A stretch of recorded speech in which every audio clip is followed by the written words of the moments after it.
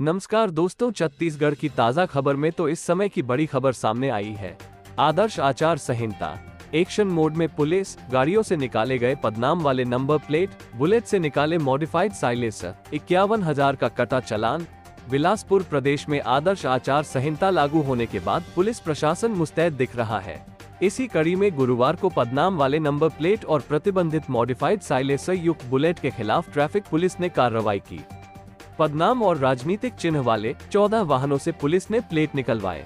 इसके अलावा प्रतिबंधित मॉडिफाइड साइलेंसर युक्त 9 बुलेट पर कार्रवाई की गई। ट्रैफ़िक पुलिस ने कुल 130 वाहनों पर कार्रवाई करते हुए इक्यावन हज़ार रूपए का चलान किया। इधर बड़ी चाकूबाजी की घटना को देखते हुए इस पर भी पुलिस ने कार्रवाई की है, जिसमें पुलिस ने ऑनलाइन शॉपिंग साइट से मंगाए गए 50 चाकू जब्त किया है। Online shopping site Flipkart, Myntra, Amazon आदि से जानकारी लेकर ये कार्रवाई की गई है। ऑनलाइन शॉपिंग साइट से बीते एक साल में मंगाए गए चाकू के संबंध में इकट्ठी की गई जानकारी के मुताबिक घरेलू उपयोग के लिए ये चाकू मंगाए गए थे।